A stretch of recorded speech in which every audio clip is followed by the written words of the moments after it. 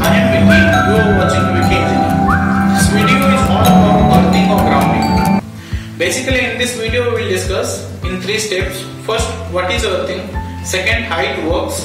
Third, it's why it's needed in an electrical circuit. First, before going in detail, let's learn something on electrical circuit, how it current flows, how it works. Basically, if the current flows in the phase line, if that is the forward direction current flows in the phase then in the return the current flows through the neutral line to the source again. Understand? In single line if the current flows through the phase it returns through the neutral. So that the electric cycle gets maintained. If there is any break or any difference in the amount of current flowing in the current uh, uh, phase line and neutral line, then at that time there is a current disbalance in the circuit. And then if there is any circuit breaker, that will break that circuit so that no current will flow again. Next is how many types of breakers are there? Basically, first is the MCB, next is the ELCB, next is the RCCB, commonly used in the indoor purposes. Next the MCCB, VCB, ACB, that's different fundamentals, that's for different purpose again will if you need to know then let me know how we will discuss in separate chapter over there.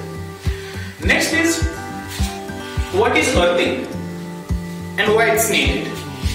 Basically earthing is to be prepared to be there in the electrical circuit to protect some livelihood any livelihood from getting the electrical shock. That process is for that reason there is earthing in the circuit. What is earthing? Basically, the process of bypassing the extra amount of current from that circuit to the ground is called earthing. Understand? The process of bypassing the extra amount current from the circuit to the ground through a low resistance mean, be it uh, cable, be it anything, low resistance cable main is called earthing. Second is why it's needed and how it works. Suppose for that we will go through an example to learn. Suppose there is a leakage in the cable and the cable being touched to the metallic border or metallic uh, out, outer body of any panel or anything.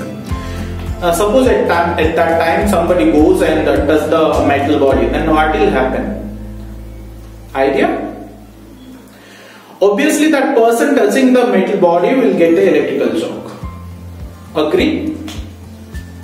Then next question is why is getting electrical shock and how to avoid from that? Right. First question how is getting electrical shock and second is how to avoid from that. For that first is as you know there are three things in electrical circuit. One is voltage, second is current and third is resistance. As you know V equal to IR that is current is inversely proportional to resistance. If the current goes high then resistance goes low. If that current goes low then resistance goes high. Understand if in a circuit resistance is low and then by default there will be a high current flowing in that circuit. Why i am telling this? The reason behind that this is if there is a leakage in a circuit and that flows to the metallic body of electrical panel. And I am uh, suppose unfortunately I touch that panel. At that time what will happen? The extra since I have low resistance I have much more low resistance than the metallic body. In respect of metallic body not in respect to the electrical conductor.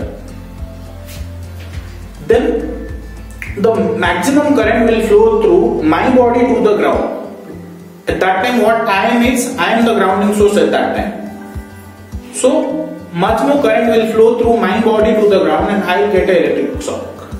It may hamper me, it may it may be a hazardous situation, anything. It may it will hamper me.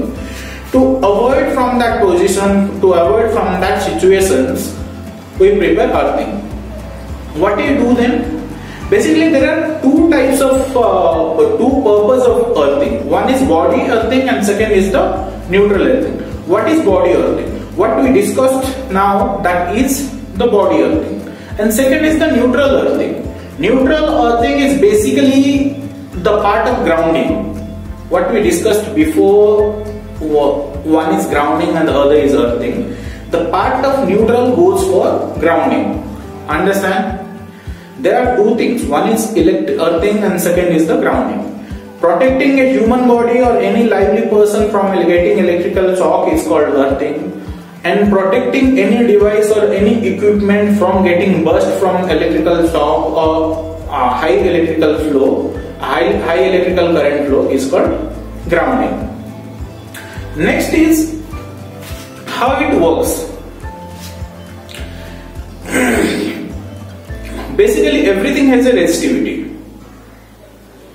be it livelihood be it uh, anything be it conductor uh, conductor be it anything everything has a, some resistivity into them.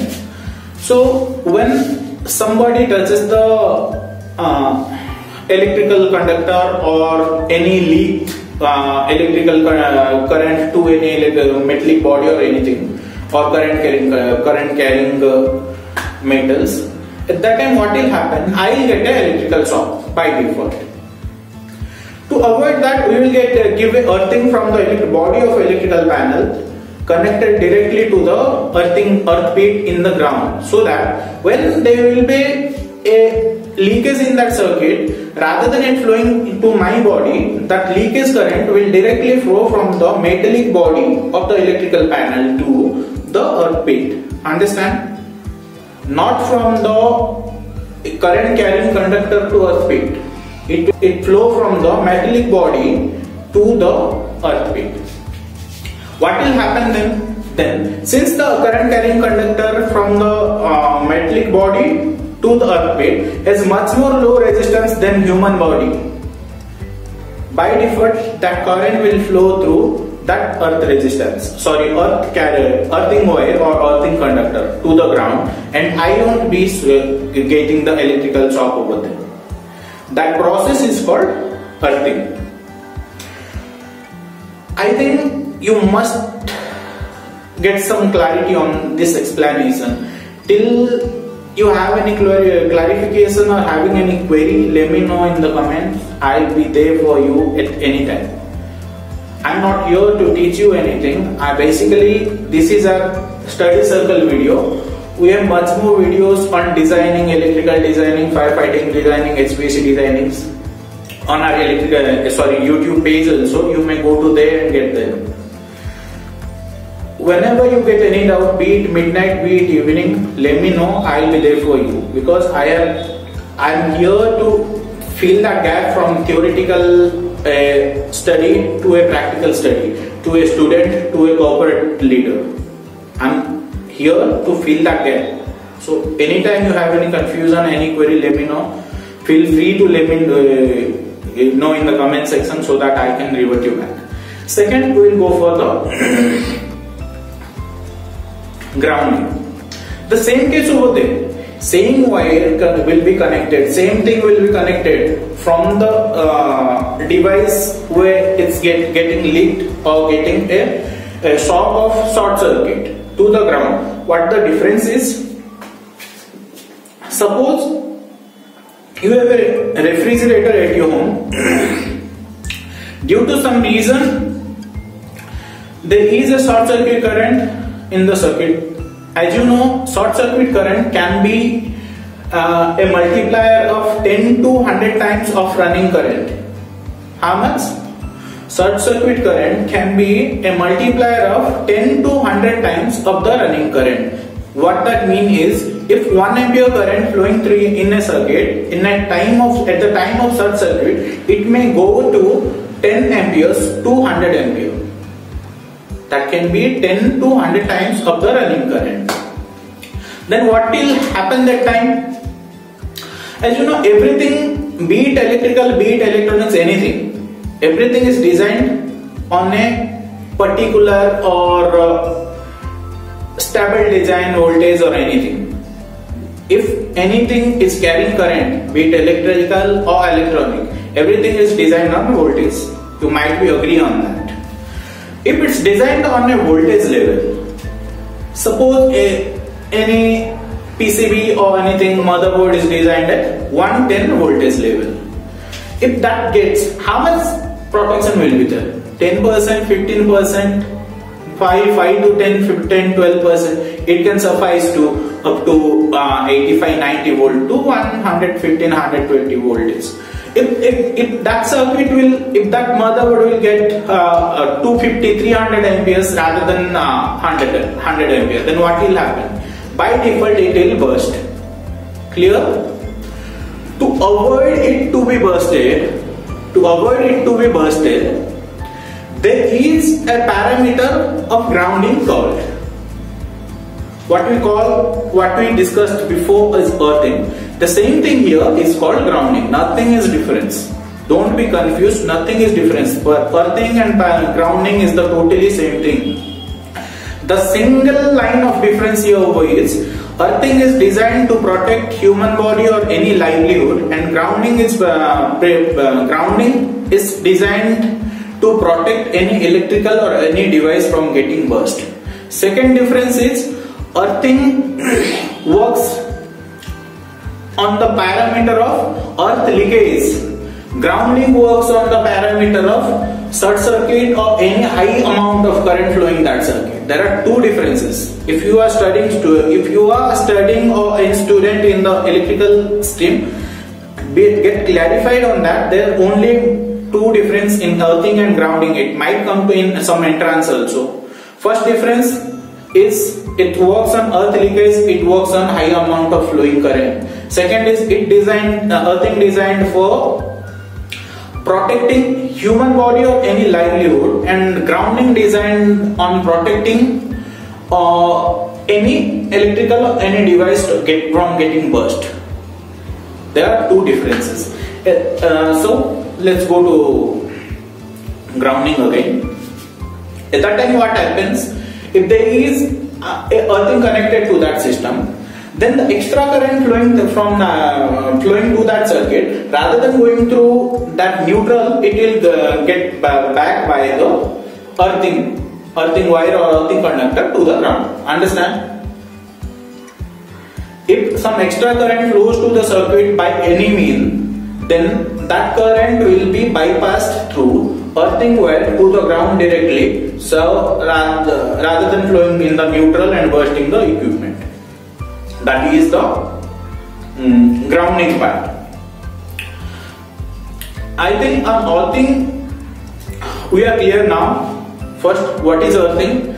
One more time repeat quickly a quick repeat. The process of bypassing extra current from that circuit to the ground through a electrical conductor or low resistance conductor or by any low resistance mean it's called earthing. Second, why it is used? Earthing is used to protect any livelihood from getting soft and grounding is used to protect any electrical devices or anything for getting burst uh, for flowing extra amount of current. Next is how it works.